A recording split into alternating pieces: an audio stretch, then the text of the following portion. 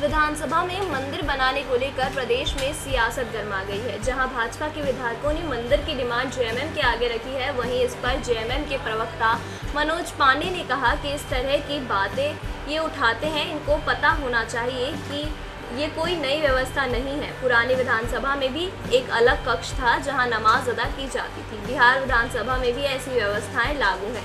लेकिन इस तरीके की बातें करके धार्मिक उन्माद फैलाना बीजेपी का मुख्य एजेंडा है। मनोज पांडे ने ये भी कहा है कि ये बढ़ती कीमतों पर, महँगाई पर बात नहीं करेंगे। विधानसभा का निर्माण तो बीजेपी की पिछली सरकार में हुआ। उस समय इन लोगों ने उसका प्रावधान नहीं किया जो सवाल आज उठ रहे हैं। ये उस समय विधायक थे, इनको तो लोकसभा में भी बात उठानी चाहिए थी, क्योंकि लोकसभा में भी एक कक्ष आवंटित है। नमाज़ पढ़ने के लिए पीएम मोदी से लोकसभा में मंदिर की मांग करें ये हिंदू बनने का ढोंग करते हैं। उनका एजेंडा बस धार्मिक उन्माद फैलाओ और राज करो है। फ़िलहाल के लिए इस वीडियो में इतना ही। ज़्यादा जानकारी के लिए हमारे चैनल को सब्सक्राइब करना ना भूलें।